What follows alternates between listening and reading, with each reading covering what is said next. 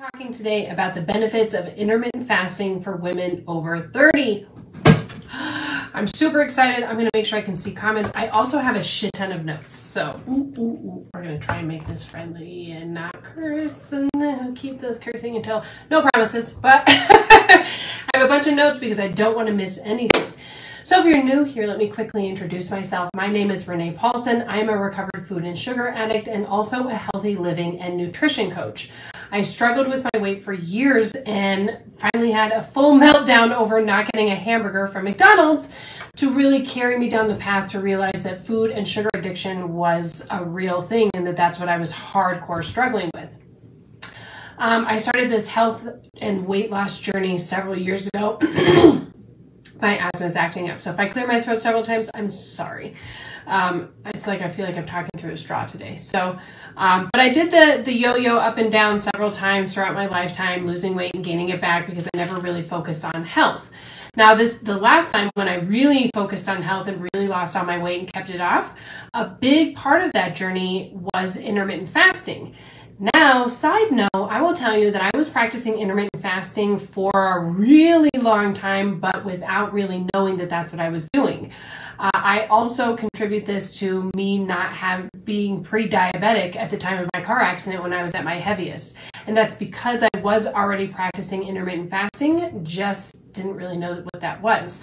So I really want to get into kind of the bones and the structure and what the benefits of intermittent fasting are. A lot of people really want to use it for weight loss um, and to burn fat, which it can be very helpful to do that, but that's like a very, very tiny benefit.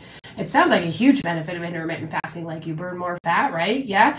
But that's really only one small benefit of intermittent fasting, and it has massive benefits. And once you hit age 30, ladies, I gotta tell you that really honing in and getting that intermittent fasting and, and figuring out what works for you is only going to help you, especially going into perimenopause, menopause, and then postmenopause. Like all of those shenanigans. I haven't entered premenopause. I kind of am like creeping into having a few symptoms, but not all the way through it. Let me tell you that I am going to make sure that my fasting game is on point because I don't want any of those symptoms. So our brains and our bodies are already designed to do intermittent fasting. Um, people have been doing it since the beginning of time. Obviously, more forced in the beginning when we didn't have like grocery stores and stuff like that. But intermittent fasting, there's, you know, we call breakfast. Breakfast is a break fast. Most people would break their fast with that. But fasting has been around, you know, like I said, for forever. And our bodies are really more designed to have times where we fast. And there's all sorts of different types of intermittent fasting. There's times when you can do a daily intermittent fasting. You can also do differing hours, to however long. Again, it's like a what works for you. You can do there's people who eat regular for five days and then fast for two days. There's people who eat regular and split those days up. Personally, for myself, I usually practice, I want to say, I'm going to say regularly five days a week. More like six, but sometimes I like to have breakfast on the weekends and do pancakes or things like that, if, you know, if the kids are cooking or anything. Um, but I usually practice, you know, five days a week at least, and I will fast starting oh, I have to think really how long I go now. I want to say I go at least usually about 18 hours and I fit everything in in that six hour eating window. Now, here's where the big, big, big rule and the guidance for intermittent fasting comes from. It is not starving yourself.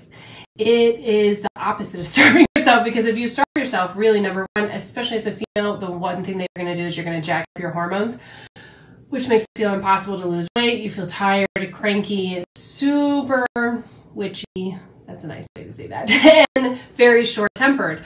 Um, so we don't want to starve ourselves. That's definitely not the way to go and not the way to lose weight because once you start to do that, um, fasting can add some stress on the body. We're going to talk about those in a little bit. But if you're starving yourself, meaning you're not getting the amount of food that you need in your eating window, we're going to cover that in a second, then essentially you are starving yourself. You're, you're going and dipping into a severe calorie restriction. And number one, the things you know, physiological things happen with the body when you do that. Um, I don't know if you've ever like tried to really restrict and then a couple days like food starts to smell, taste, look, sound better. That's literally your body trying to trick you into eating because you're starving. So let's not starve ourselves. What really fasting is is you pick your calorie intake. I want that sounds weird. Not pick your calorie intake, but you have your calorie intake, whatever that means for you. Now, I can tell you what my calorie intake is, but that's not going to help you because it's a very personalized thing depending on where you're at in your life, what you're doing, what stress is going on, you know, lots of different factors, what your workouts are, all those things.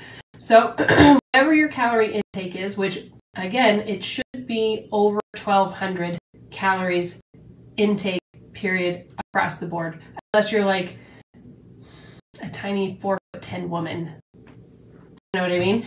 Most of the time, your calories need to be 1200 or more because when you start to restrict that, that's when your body starts to go into starvation mode. Your hormones start to shift and fluctuate. Your body starts to hold on to that fat. We don't want that to happen. So, let's say, for example, your calorie intake is 1800 calories. You're going to take in 1800 calories throughout the day, but you want to fast um, in your eating window. So, you have a fasting window. Your fasting window is the time you're eating, right? Say it's 12 hours, and then your other eating window is 12 hours in that 12 hours, you need to get all of that calorie intake in in that eating window. So you're not starving yourself. However, also calories do matter. I mean, you know, pizza versus like broccoli is a bad example, but that's the only example I've got right now. is you really want to fast. Um, when you break your fast, you want to break your fast with good food. It's going to really like replenish your body and just think of your body just like sucking up all that stuff. So I like to break my fast. Most of the time I break my fast with my big everyday protein shake that's got protein powder and chia seeds and oats and spinach and like lots of good stuff. Also on the side, usually I have a little snack. I do like some carrots, pigeon sauce, or fruit, or some goldfish are good. I like just I just need something to chew. That's a personal thing. But that's the parameters of intermittent fasting is making sure that you're getting that nutrition that you need in that eating window. So I don't know if you've ever heard there's a uh, there's an acronym for it. It's like the one meal a day. Oh mad. Ha I just, just spell it out. Um, some people do the one meal a day where like you're sitting down, you're having a huge meal and you're eating like for an hour and the rest of the time you're fasting. Wow. Um, I have not done that. I've seen my husband has tried to do that and it just that seems very intense. So um, I don't do that. And again, I'm doing what fasting feels good for me.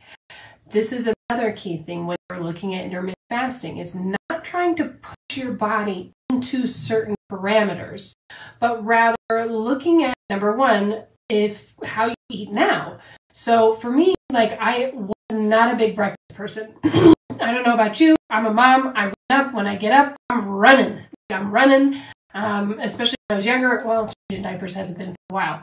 but I'm running. I'm getting people breakfast. I'm doing this. I'm to get the dog outside and blah, blah, blah, blah, blah. So I was never a big breakfast person.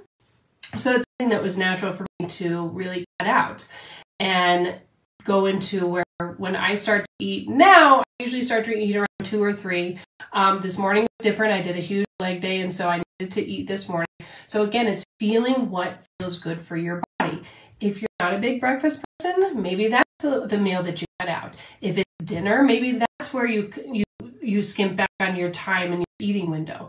The one thing that it cannot be is that you can't like, oh, I'm going to eat breakfast and then I'm going to fast and then I'm going to eat dinner. It needs to be all together because what ends up happening when you eat is you break your fast. And then if you like, like, well, I'm not going to eat lunch and I'll just eat dinner later, your body goes into war of like starvation mode. So it needs to be in that eating, you know, fasting window all come together and then eating window making sure you're getting all of your good nutrients. And side note, this is just because I love to give information. Most women um, need a multivitamin, and that would be when you break your fast, adding that multivitamin right there to just kind of like help your body. Again, just suck it up. I love that. suck up all of the good nutrients. Now, some of the benefits of, I'm going to say some because I'm not, I can't just sit here and list everything. And you know, also some are like, well, it may help with cardiovascular disease. I'm not going to give you the it may help with this. I'm going to give you the solid ones that hey, we know that this helps with this, and we have some solid studies and proof. Um, so yes, it does help with fat loss because um, it can also increase your HGH, which helps build your muscle, which then when you're building and you put more muscle in your body, your metabolic rate you know, is increased and you can burn more fat at rest, which is perfect. This is one of the keys I'm going to talk about when we get into talking about menopause and when you hit over the age of 30 because it's super important to to do that. Um, but also you reduce your insulin levels, like your blood sugar starts to really stabilize. It also has been proven, proven. I just went through because I was like, let me find the study. I need to fit it. So I can't just be like blah blah blah. It's now been proven to help reduce stress and depression. Let me explain that again. And and I would like to know why I need to do a, I want to see if I have the actual clinical reason why because it also helps increase your self-confidence. So you increase your self-confidence, you're you're decreasing your stress and depression. So not only that you're reducing your oxidative stress, which is the stress inside your body, meaning you don't have antioxidants, you have too many radicals, also reducing inflammation. So huge benefits. Oh, oh, let's also cover autophagy because that's one of the biggest things that really drew me to fasting, and it wasn't um, the weight loss for me. I really needed parameters of like, here's the rules. I can't eat off of this. I can't eat off of this. And also the autophagy. I had put so much garbage in my body at that point, you know, with junk food. I mean, I was raised on junk food and fast food and all of that and had been it for forever. I didn't have a gallbladder for God's sake. so it's like, let me, let me look into this. Autophagy is really when you start to fast and um, your cells start to repair themselves and it starts to clean out that waste material from the cell. So really on a cellular level helps you. It helps you in a mental health level. Like it has so many benefits. Now, a lot of, a couple of years ago, um, there were some studies, I say studies, I mean articles. Articles sound also. There was blogs saying that when you fast, you can also increase cortisol. So fasting can put stress on the body. If you're super, super, here's the other unbalancing. This is why more studies need to be done. Is because if you're super, super, super stressed, they say that might not be the best time to fast. But then also we have studies that it's proven to reduce stress. So why wouldn't you just go hand in hand? Um, I can tell you that when I'm super, super stressed, I am generally not hungry, so I fast without feeling like I'm, you know, an intending to fast. Um, but it also helps me not make bad choices with food because when I'm stressed or, you know, really struggling, if I'm like, well, I'm fast to try and just like get through the day or whatever, then that takes off like, oh, I'm stressed, so I need to go out and get a Starbucks cake pop. Or that's not even what I would choose from Starbucks, but or like a Starbucks grilled cheese or something like that. So massive benefits really to intermittent fasting. Um, and more interestingly enough are the new studies coming out for the benefits of mental health, which is really interesting to me. For some reason, I I find that really fascinating that you fast and it, it helps relieve stress, depression, and anxiety. So it's, it's a really good tool. Now, for women over the age of 30, okay, and I said age 35, but I really want to stress on age 30, and here's why. Because once you age 30, I don't know about you, but the things that work in 20s, they ain't working anymore. Weight loss things, or, you know, like, ah, all those things, they are trying to stop working, you know, trying to punish your body with cardio and like all the things. You're not doing that. They they stop working, and also once you hit 30, and especially women, 35 is when your bodies really start to start to change. Not go through massive massive changes, but you are starting to have some changes. You're starting to have hormonal changes. Gray hairs. To do all of those things. Now I say 30 because it's good to just get into a good routine and to have time to find what works for you. Because now I'm at the point where I've been fasting for on a regular basis for long enough that even when I'm fasting and then I break my fast, calculating what I'm later, I know how to break my fast in an appropriate way It's going to make me feel good, and it's going to help sustain me until I have my next meal. So you you find out what works for your body. You find out, oh, you know, when I started intermittent fast, I started with a 12 hour fast, and I started pushing back that in eating window um, by 15 minutes, usually every other day, or you know, depending on how I was feeling. Again, like if you have something like a big leg day, doing a fast after a huge day, if you're really hungry, that's not be good for your body. Sorry. So again, that's yes, intermittent fasting, but finding what works for you and your body and what's going on at the time. And if you have to your fast early, thinking like this is my rigid timeline, but I'll tell you this morning I broke fast early, which means I will probably start fasting tonight earlier than I normally would have. If I don't, it's not a huge deal. I know I do it early enough have the benefit. Now, once you hit 30, 35, 40, we're going to creep into menopause. The benefits for women, once you start to hit pre-menopause, you're creeping up, intermittent fasting is going to really help. Again, number one, because it's going to help those HGH uh, levels, which is going to help you build muscle. This is a huge problem when women hit menopause because especially after menopause, you, you start to lose muscle mass. So for women, most of the time we lose, I think the number is around 50% of our muscle mass once we age 55, 60.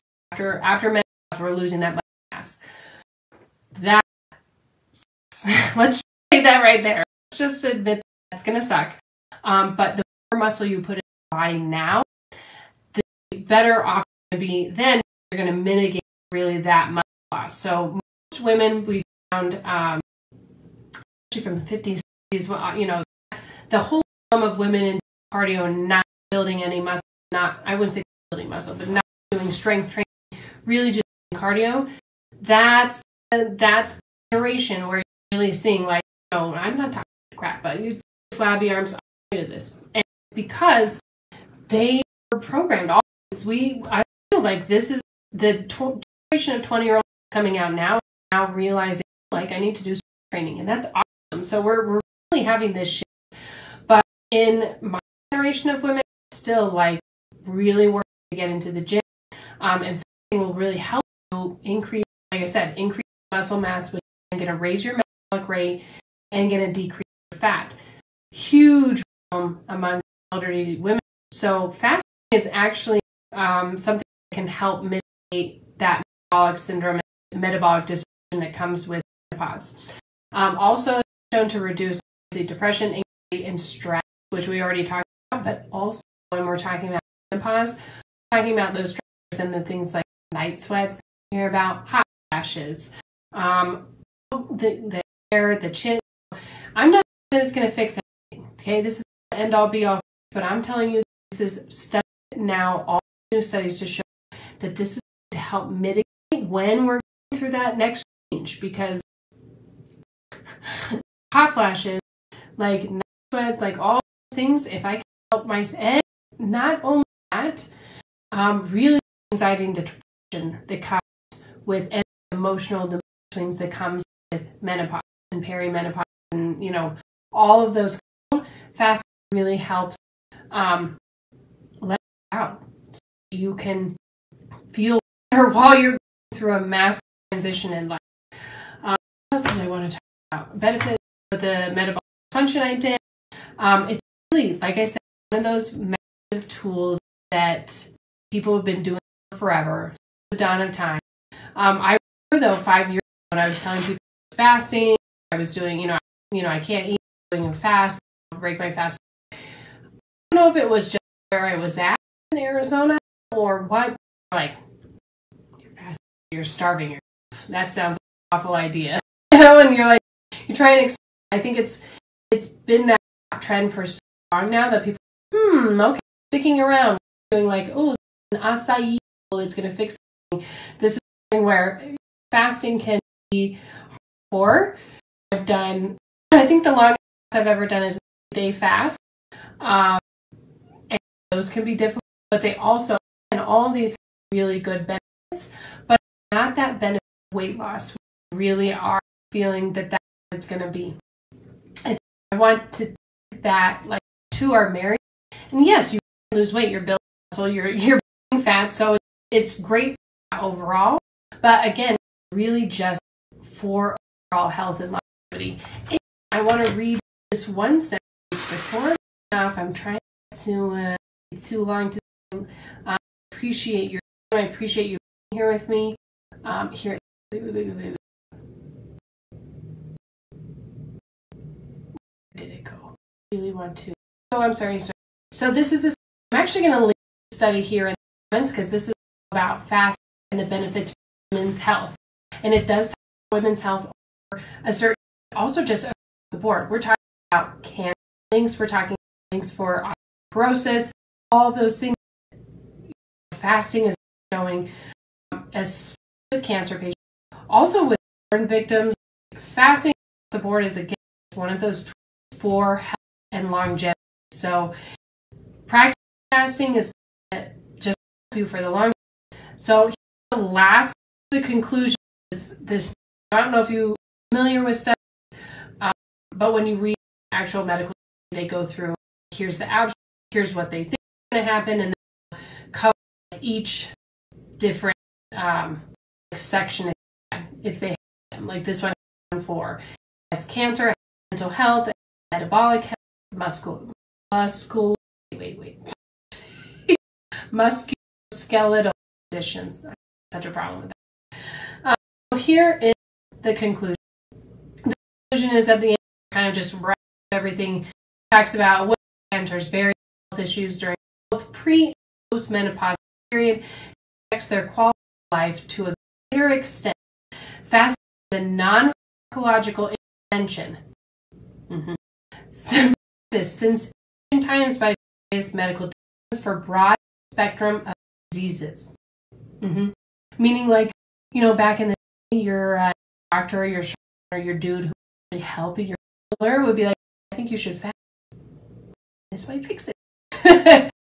so the the the last sentence says, nevertheless, goes through a whole. If you want to read the whole, you absolutely can. I'm going to post it. Nevertheless, fasting can prescribed. Prescribed is the word used here. Which I want to tell you, I in pharmacy 14 years. I did all different kinds of pharmacy. I retail pharmacy, also mixed therapy. I've done compound. I've made pills, creams. I've done these things, and to hear something like today's society that's pharmacological that this is need to prescribe patients jaw I was what? Nevertheless, can be prescribed as a safe medical intervention as well as a lifestyle regime which can improve women's health in many folds. Many folds. So, I love intermittent fasting. I'm a huge advocate for it. Uh, for myself, I know that it has helped me in many, many, many facets of life. I also know that myself, I'm turned 30. I'm slowly into the 40s. I know that I'm going to go into menopause and use this as a tool to get through that, mitigate the symptoms, and especially mental health symptoms. Um, I've been having a rough week last you know weeks and really been hard to take my mental health, um, including fasting. So using that as a tool to help myself get back to better and feeling more like my again. Um, ooh, I got one thing I want to bring up about fasting. the rules of fasting. This is kind of very random, but we're talking about an eating. A lot of people will ask, well, what can you when you're fasting? Fasting is a water. Water is a yes. Juice is a no. Juice will always on the. um, black coffee Yes. I black coffee taste. I can't. I can't live my life without coffee. The day that I have coffee, I think that's the day that it's over. um, you do happen like a morning and you're to have a little of my creamer or whatever it is. Um, as long as this is very simple, but the in general has calories that as long as 50 calories. It's not going fast, and that is considered what they call dirty fast, meaning that still fasting, did have a little something, but wasn't enough to basically your body out of ketosis, which is what people are really shooting for for fasting, getting your body in ketosis. And more people are just focused on that fat burn, wanting that burn. And you, I think it's just stubborn because when it's not just for fat burn, it doesn't work. No, I, I've done fasting all the time. I've done it with that focus weight loss. I'm going to do it for. And I eat, I'm going to eat things that are going to be good for my body, help me, help my mental too. All of just made it made me feel so like I said it's very that the news are showing that it reduces stress and anxiety I we need with that after the last years. So that's kind of on intermittent fasting. Went over the journey. I know I have a ton of information on fasting. If you have any questions, watching this as a stick them in. Maybe do like a intermittent fast or all the whatever it is. Listen, no one's talking. turning on today. My Siri, dude. Look, too many times my computer. So. All right, so I'm not gonna more. Appreciate you being with me. Wow, a little bit long one. Really, a lot of information. It's one of those that are extremely beneficial. It seems easy tool but, you know without doing all of the and all of that, really confusing. You can actually kind of swing the other way. Just to balance, just to feel any questions in fasting that I didn't or that you can or you want clarification or anything, please do not hesitate to put um, our comments in the comment section. see it and uh, really answer. I like to read or go over whatever it is. I'm here for you. Your bestie. I'm just, just love you. Just want to give you information And Speaking of, if you are not of the warrior yet, like, what are you doing? Like, I, I thought we had some. Um, but you can join the warrior at renee.com. It's completely, but it is a community of women just like you, ready to cravings, control of their and their health, their weight, are good, especially through my um, put a link here in the comments. You can go join the warrior at renee.com. Also, I have a quiz on my could addicted to it's based on the addiction scale based on science so if you're questioning can I be addicted to the quiz you can visit Renea Paul put it's the same link. The other one to join try but I'll in here for you. And I hope to see you I hope you also have real estate as fast as you are. I love you a bunch. Thank you so much for being here and I will see you later. Bye bye